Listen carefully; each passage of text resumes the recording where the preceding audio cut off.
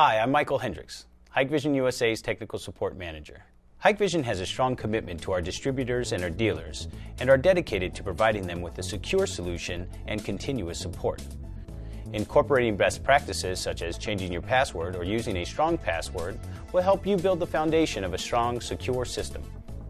We all know that it is critical to change the default password on any piece of electronic equipment, including your DVRs, NVRs, and IP cameras. When choosing a password for your system, it is important that you choose one that is not easily guessed by others. Complex passwords include upper and lowercase letters, numbers, and special characters. Do not use the same password you would use for other websites, systems, or devices. Here are the steps to change the default password on your Hikvision IP camera. First, we'll want to log into the camera through the web browser. The first time you log into the web browser, the web browser may prompt you to install a plugin or allow a plugin to run on your, on your browser. So please follow any prompts on the page to uh, log into the camera successfully. Once you log into the camera successfully, you'll go to the Configuration tab. Under the Basic Configuration, go to the Security menu. Highlight the desired user and click the Modify button a Modify User window will appear. Enter a new password. Below the new password, you will see an assessment of the password strength. You'll want to confirm that password below. Now click OK.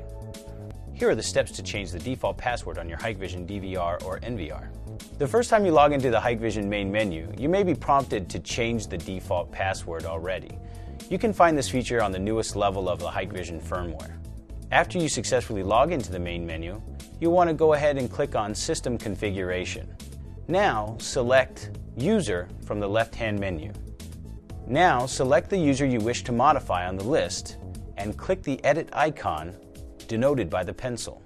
Input the old password, place a check in the Change Password box, and now input your new password and confirm that password below.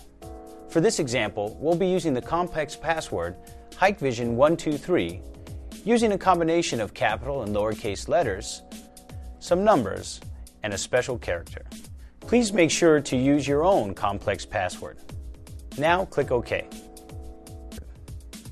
As security professionals, we share the responsibility to ensure the safety and security of video surveillance.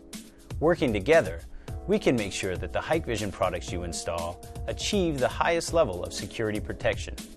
For more information, please visit our website at www.hikvision.com